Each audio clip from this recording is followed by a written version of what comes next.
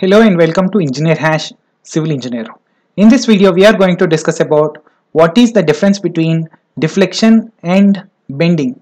See it's not bending it's always bending moment. One of our subscriber has requested to make a video on deflection and bending. So here it is uh, Nagaraju. So similarly if any others have doubts on specific topics please comment them below so I can make videos and post. Consider this simply supported beam.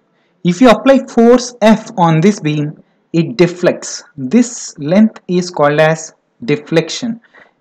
Deflection is defined as it is the physical displacement of a body due to the application of force F. Then what is bending moment? Due to the application of force F, there are some internal stresses which are created in this beam.